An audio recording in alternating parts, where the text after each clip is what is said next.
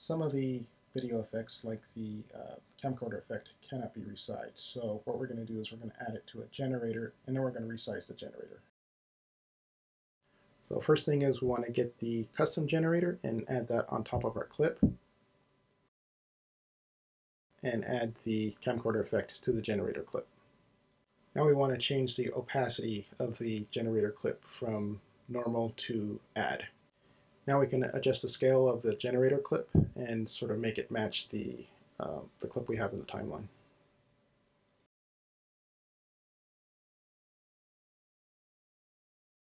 So after we adjust the scale, we want to crop the top and bottom. That way the uh, generator will match the image it's on top of.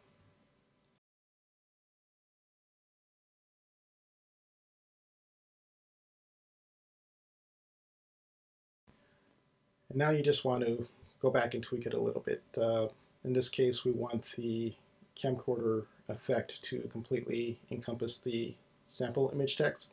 So I'm just going to make it a little bit bigger and then crop it again on the top and bottom.